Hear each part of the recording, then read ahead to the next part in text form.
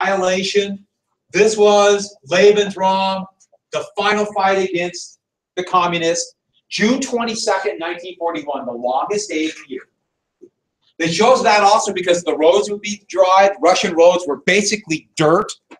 Unlike France, who had nice paved roads, Russia did not have the infrastructure. And even though Germany is going to attack with the strongest army they ever had, still, they don't have enough troops. They don't have enough supplies. They don't have enough horses. And over 90% of their transport is still horses. They assume they'll capture Russian um, train engines. Railroads, they, but Russian rail gauge is actually narrower, so they can't use German engines. I mean, this is an all or nothing attack. Germany is literally going to go all out thinking that the Soviet Union and Stalin will collapse in six weeks. And if that doesn't happen, happen, it's over. A terrible mistake, just because there's no way they had the resources to do it. But they attacked anyways and took the Russians completely by surprise. Stalin refused to listen to anybody who told him that the Germans were going to attack. A lot of the Russian spies who told him that would be uh, sent to the camps or executed immediately. Stalin didn't want to make any mistake. Should not have happened. But I drew this map up for you this uh, at lunch because I knew you guys would like a map. Is this pretty good? It has arrows. Yeah, I sleep overnight because of that. Here's Prussia, that part of Poland they took, Hungary, Romania, who were German allies. And in reality, it was a three-pronged attack, the two prongs we need to get were Moscow. If the Germans believed that they could take Moscow, politically Stalin could not survive losing his capital, which in reality, with the beauty of hindsight, that was his best chance. Another way was to get down to this area here called the Ukraine or Ukraine. Now, an independent country, then part of Russia. Why? Resources. So much of German Nazi thinking was to get to be self-sufficient.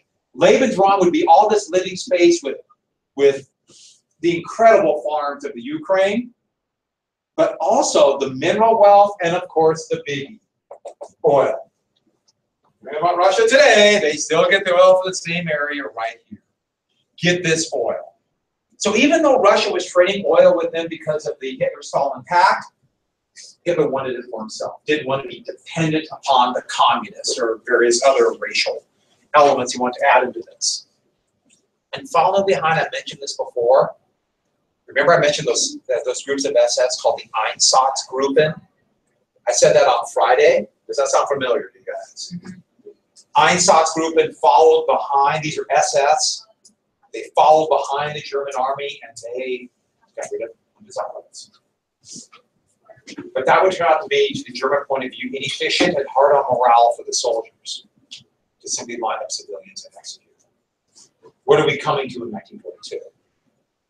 The death camps. So, to give you an idea of what happened, we're talking hundreds of miles into the Soviet Union. But within two weeks, just you don't need to know the numbers, I'm just giving you an idea. Right here at Minsk, 400,000 Soviet soldiers were surrounded by German forces. 400,000. A huge victory right here. And outside observers thought, oh, Soviets are dead. They were advancing this way towards Leningrad, this way slower into the Ukraine. But something happened. Even at Smolensk, when they captured 300,000 men, by the middle of August, the timetable is slower than they thought. Russians are fighting much harder than they thought. Much harder. The Russian army was tough. They just made terrible mistakes. And the Russians had better tanks. A lot better tanks. They just weren't using them quite right yet. I mean, this is not going the way they thought. But the other thing is this. Supply lines. They couldn't get supplies. They outran their supply lines.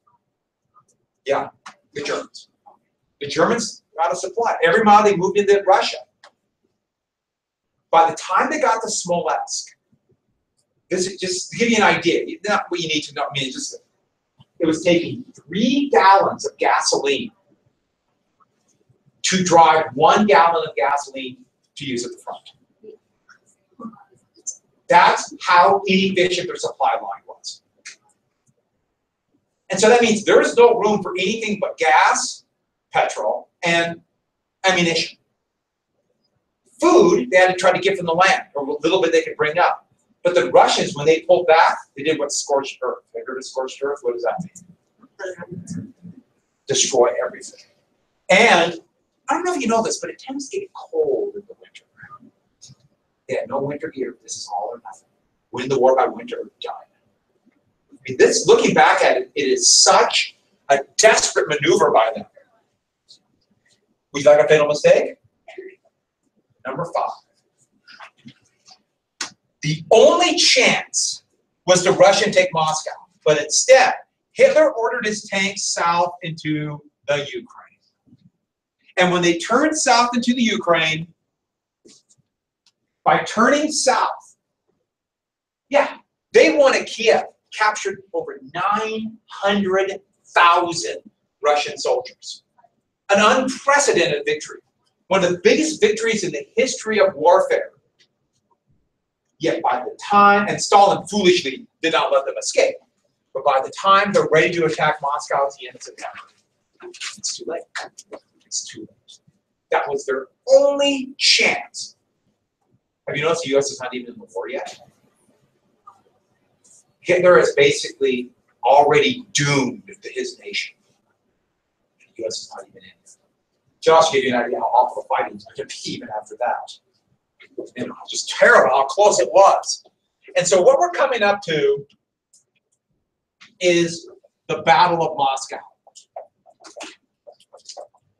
The last gasp to try to get Moscow.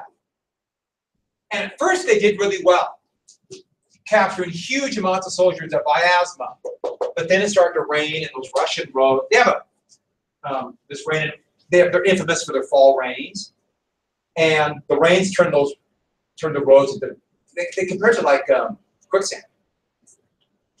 Where they, they literally just, horses go right in and die. Tanks would drive themselves right into the ground. They couldn't move.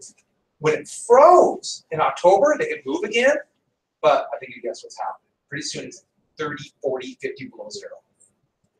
The Russian winter killed them. German horses were not bred for that kind of weather. They just died by the thousands. Now, small little Russian ponies could survive, but they had to capture them. And their engines just froze. The Battle of Moscow would basically be from November 42, or 41, I'm sorry, November 41 through February 42. German reconnaissance got to where they could see the Kremlin. There's a monument in Russia right there, furthest advance of the German forces. in the it. And then the Soviets counterattacked. Now, this wasn't a decisive victory. They pushed them back to about right here. And the Germans still held all this land. So basically, all this. But the Battle of Moscow is one of the twin turning points of World War II and of history.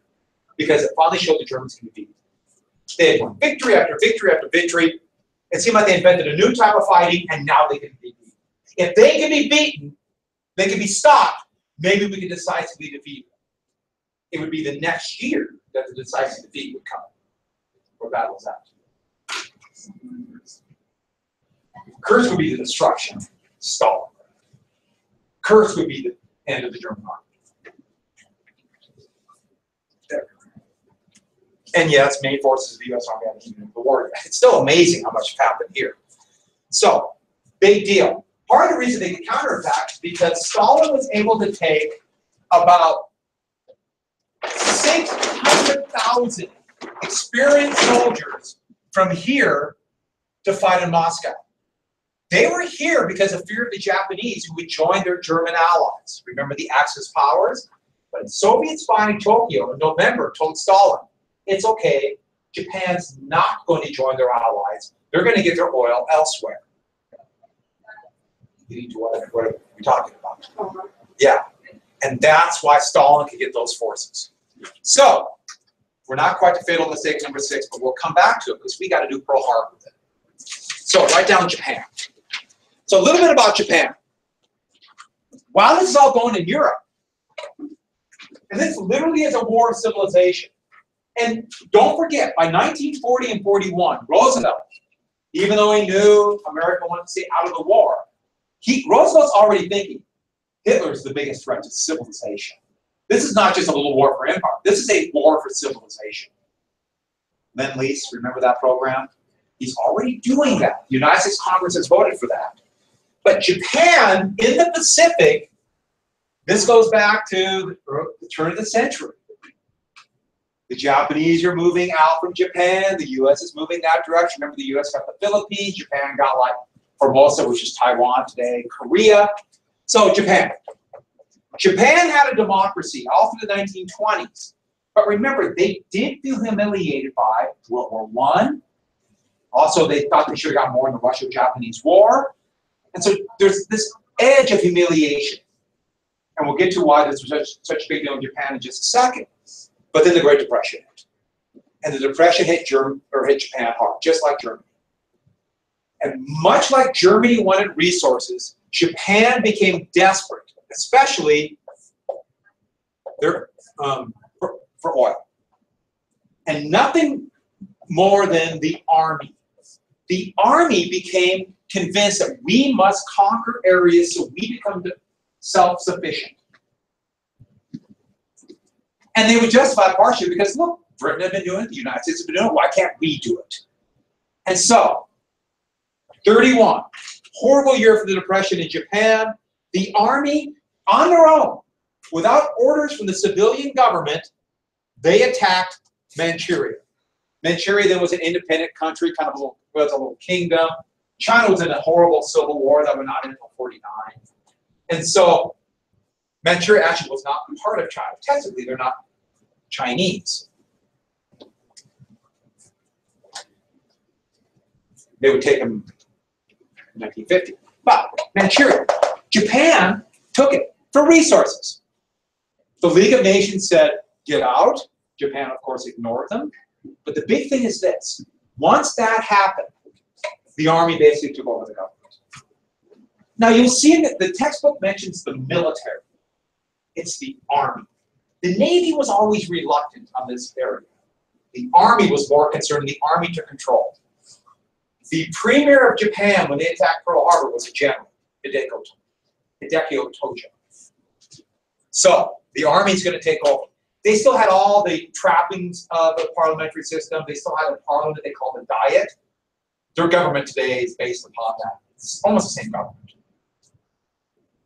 and they still had a cabinet, they still had civilian members of it, but the army dominated. In fact, if you disagreed, you were killed. Yeah, these kind of Japan got kind of crazy.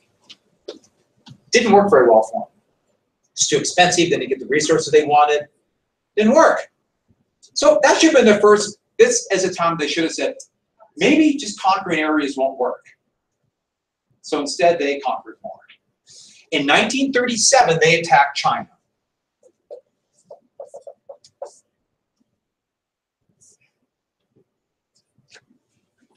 Now think about attacking China. China was going through a civil war. There technically was a government in China, but in reality it was a bunch of warlords. They were not industrialized. They could be beaten on the battlefield. In fact, in two years, Japan took almost all the major cities of China all the harbor cities. The problem was China didn't quit. And China was way too big for the Japanese to try to take over and conquer. And one thing we have to add to this, it's called Nanjing, even though then in America it was Nanking, but huge town to the east of Shanghai, right here called Nanjing today after a pretty fierce fight, the Chinese basically committed everything. That was the capital of China. They tried everything to hold it. Japan defeated them. And then what they did is, it's going to be called the Rape of Nanjing. The Japanese basically gave their soldiers three days to do anything they wanted in that city. And they killed tens of thousands of people. Stole, murdered, raped. There's these horrible shots of, of Japanese soldiers using civilians as uh, practice um, to practice cutting off heads with, with their swords, or using babies for bayonet practice. What they did was some of the most outrageous atrocities in history to this day. It has tainted Japanese Chinese relations. China won't, Japan won't fully admit it. Admit, and this, what Japan did to all of China was horrific. This is the most famous example. Now the United States and other countries were mad, but do you remember this called open door? Do you remember that term open door? Where basically every all the great powers would sign these unequal treaties with China so we could all equally exploit China. That was a U.S. big complaint. What about open door? Finish this tomorrow, we attack Pearl Harbor. We, we're not going to attack Pearl Harbor. Who's been to Pearl Harbor? One. How long ago?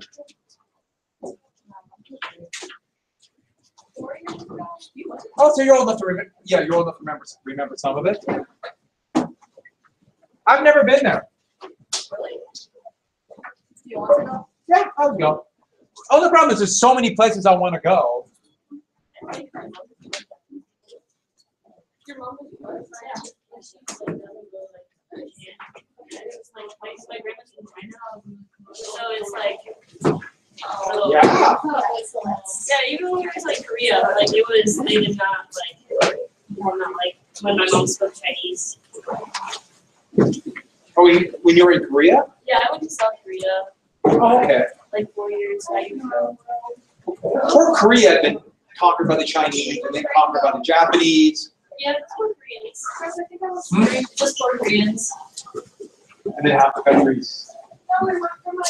Yeah, and then religion. That's what my mom was from. Oh, from Malaysia? Yeah, so we like when I was little, we used to spend like a month there.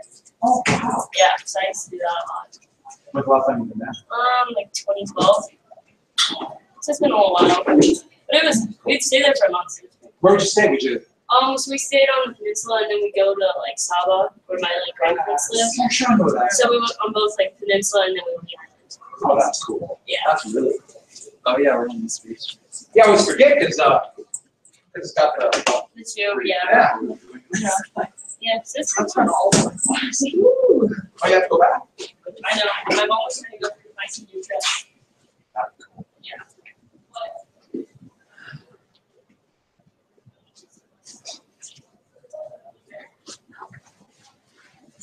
Did you break the door? Oh, yeah, I just. How much? Big wall.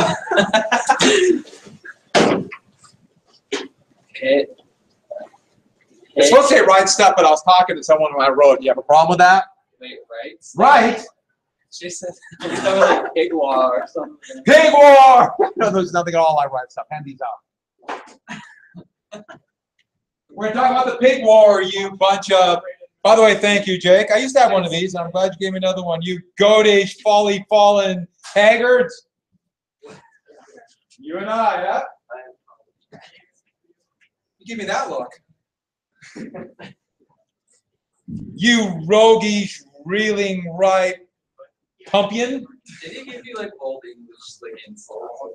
Shakespearean insult, yeah. Somewhere my desk had one of these, but yeah, they go away and I forget them. But thank you, Jake. You good people. You good people.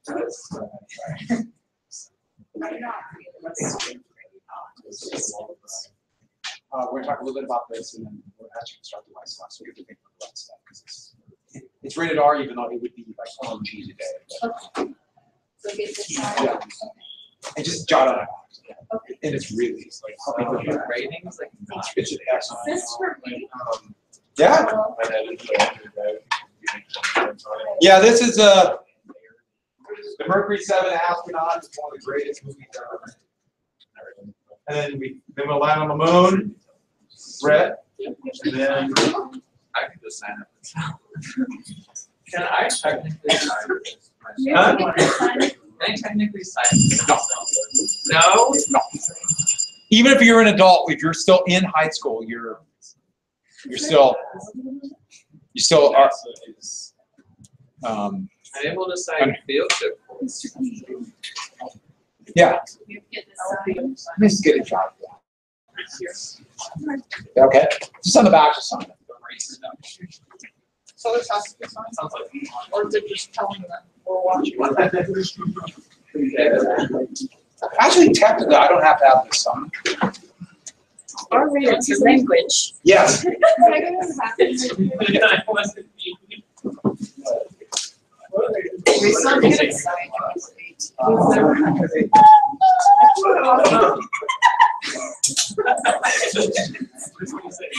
Where'd you get that?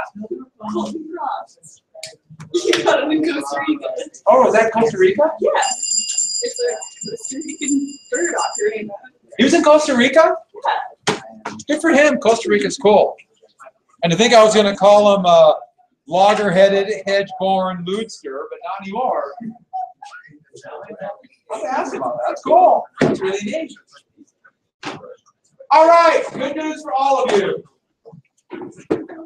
First thing is first. Yes, if you notice, they tried to turn my desk into a pear tree first period. Oh I said I would leave it up first period, or for the day, and then it's gone. I did not see that. Yeah, that's the thing. Yeah, you know, I like it.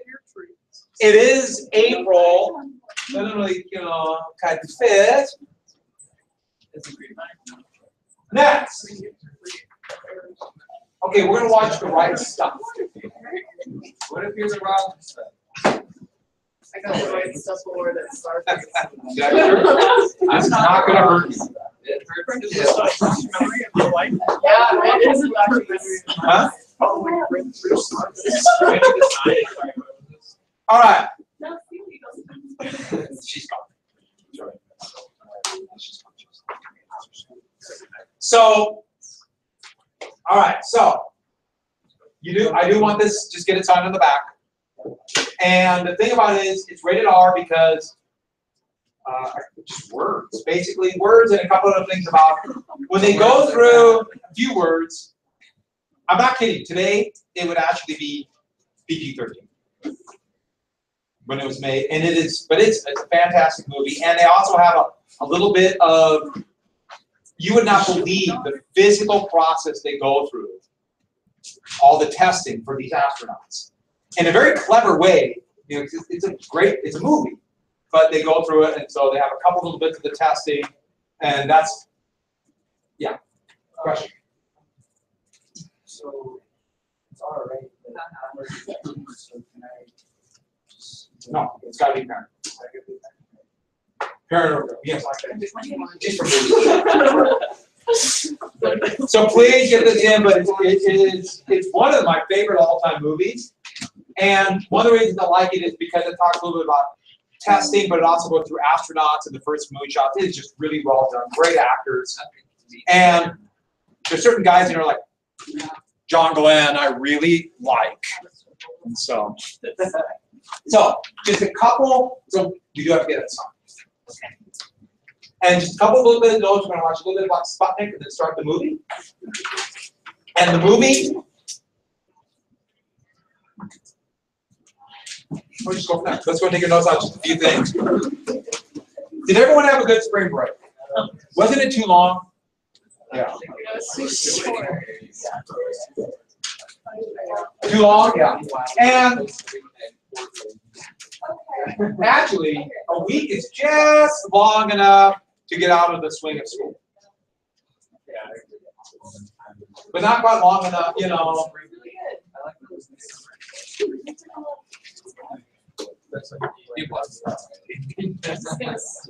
It looks vaguely like a blue jay.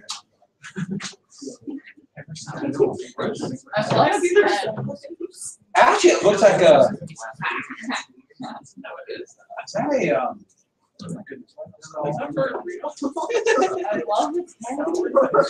a white-breasted magpie. They are the damnedest birds I've ever seen in my life. They try to take, they try to take my wife's fish taco right off Great useless. Just sit there hopped on the table. Never seen a bird like so, so It's really, all right. Think about, it's like a blue jay and a magpie mixed together. So mean, big, smart. All right, so today your notes, I'll talk a little bit about, a couple more things about the Cold War, we got the NASA, but a few more things about the nineteen fifties we have to get.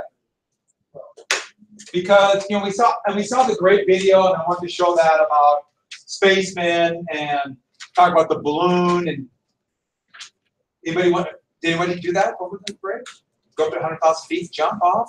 I Where is want your- it. They don't want Really it. bad. I don't think I want to. Yeah, No, we didn't wanna she do asked the that. question, anyone put it in the hot air balloon? And I was just like, no, I know. I could-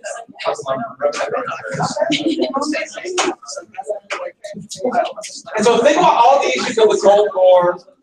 We're gonna watch something on Sputnik, but part of the reason the space, part of the reason the space race became such a big deal is so important is you gotta think about all the things going on in the world in the nineteen fifties and into the nineteen sixties. I mean, there's just a array of things. In fact, that's, and that's one of the interesting things about NASA and when they actually created the National Aeronautics and Space Administration, and they started working on getting a man into, uh, into space, then the spacewalk, and then to the moon, the whole world was spiraling. Science. But it seemed like spiraling almost out of control. First, all these incredibly tensions, events, and then all of a sudden, Vietnam, civil rights movement, all this going on while we have the space race. Fact, they're in that kind of like an alternative universe.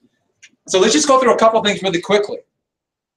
First off, in 1950, who were we fighting? 50 to 53? In the Korean War. We had the Korean War going on in the early 1950s. Now, it turned out to be a draw. Um,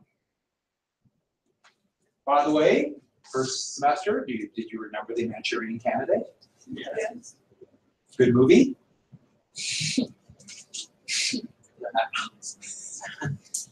the good fighting scenes and lots of sweating, but it's still a great movie. A really good movie. But, yeah, you missed it. I would highly recommend The Manchurian Candidate. It's such a good movie. So, 53. But that's not the only three. Only thing. Now think about all these events going on. And so then we also have the Red Scare, McCarthyism in the United States, the fear of some kind of communist insurgency. That, yeah, you know, McCarthy would basically be discredited by 54, but that went on through the entire decade, this fear of this communist, this communist persuasion. That's part of the reason why, you know, Kennedy wanted to look tough on communists and sent so many advisors in Vietnam, and LBJ wanted to look tough also and prove we're credible, and so sent troops into Vietnam. All this stuff was going on, but think about other things going on too. In 54, speaking of Vietnam, what was the French fortified city that fell? Dien Bien Phu. Remember Dien Bien Phu in 1954. So the French lost there. Now we have a split in Vietnam, another theater of the Cold War. Also, 1956. As you can see from this map,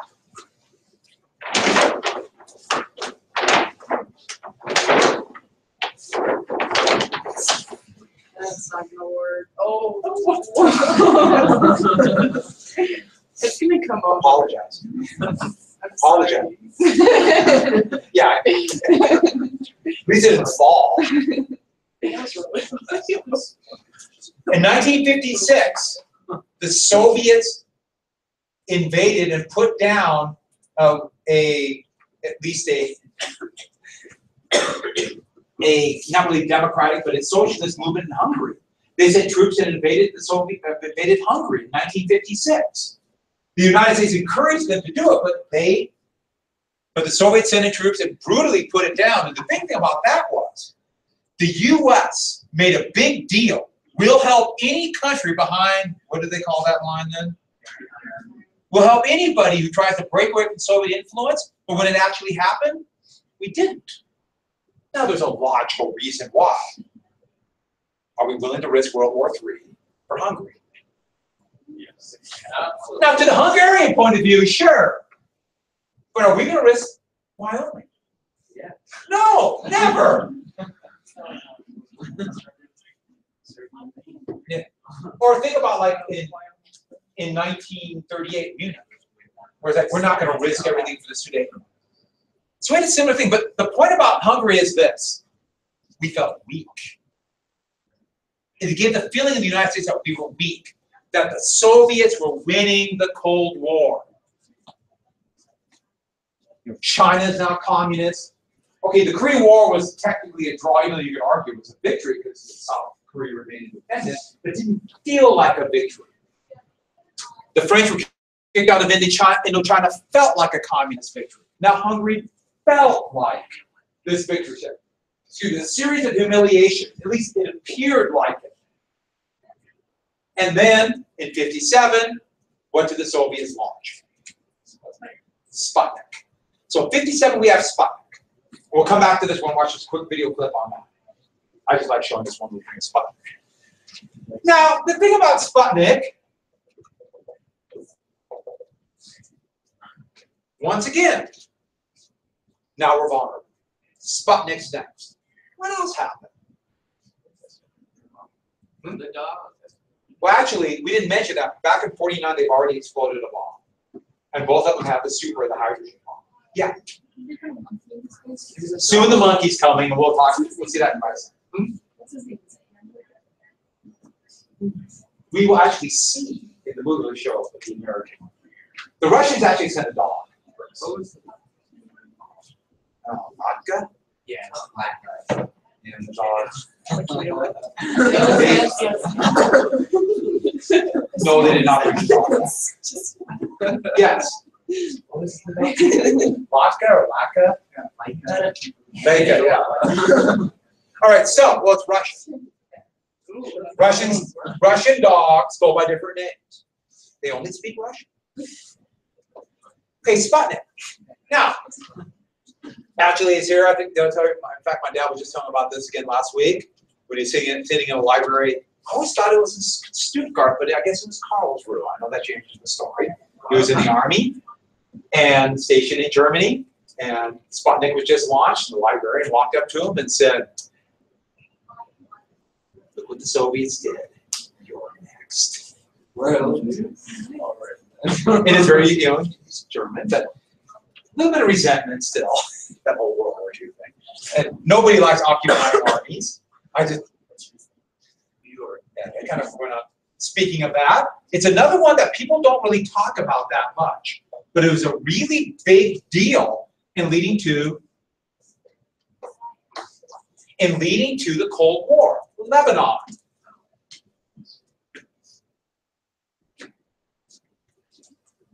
Lebanon, the French, when the French left the colony of Lebanon, they left a Christian government, but the Christians were in the minority. And there's an attempted way to do a more democratic state where it not be based upon just Christians in charge, because the majority population was Sunni Muslims.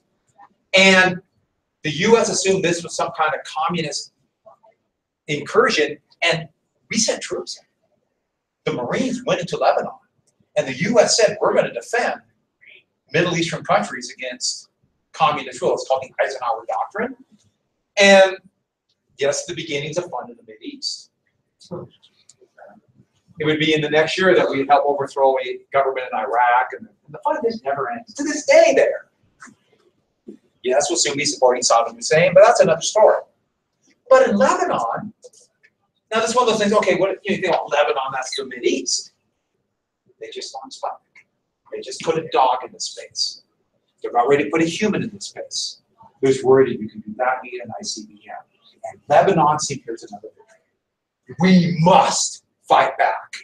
We must win somewhere. And then what happened? 5960.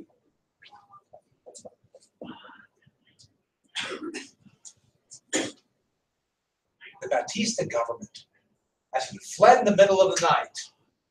Batista, even know what country that was in?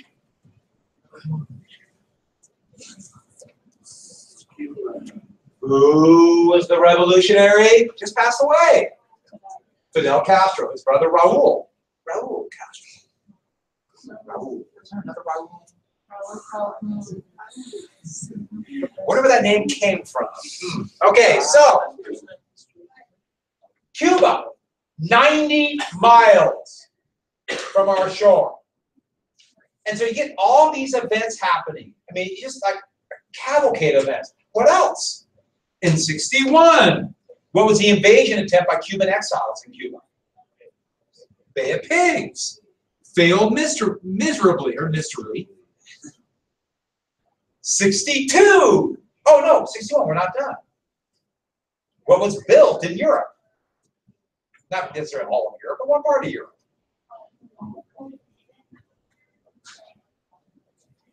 The Berlin Wall. Now, this was basically to keep East Germans and Eastern Europeans from running away from the Iron Curtain, but it looked like the Soviets were going to isolate West Berlin for the chance to invade.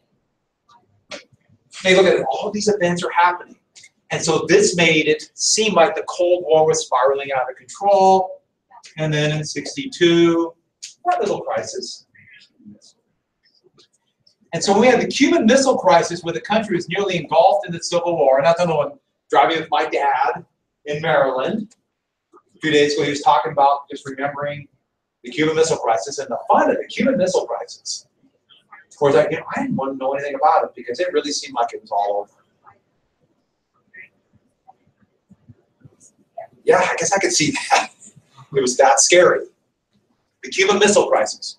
Now, the world didn't go to war, the tensions didn't get alleviated, but that's why in 63, when JFK was assassinated, that's why so many people believe there must have been some kind of communist assault. In fact, there was a, a fear, I mean, almost like an overriding fear that they might find out that somehow the Soviet Union was involved and the American people want some kind of retaliatory strike. And look at all these things happening. And I'm not even covering it all. But with the Cold War, and then lastly, the Tonkin Gulf crisis. Remember that Vietnam, which would lead directly to American forces. So I put all these up to give you an idea how we have all these increasing tensions. So it came like we must get ahead. Yeah. Oh, So let's go and quick watch a little thing from this great series called the 50s. It's actually the last one called the War of the 60s, but it's uh, Sputnik. And I just like how they cover it and kind of set the stage then for the right stuff. Is it the one that's on? It's the- it's the one that- What? This This series. series, I love this series. The 50s? It is? Unless you, oh, I know there's the sixties. Yeah, I'm pretty sure. If it is, I want to know. I didn't. The sixties and seventies is good. That's just. Yes. So let's go ahead and watch. How? My advice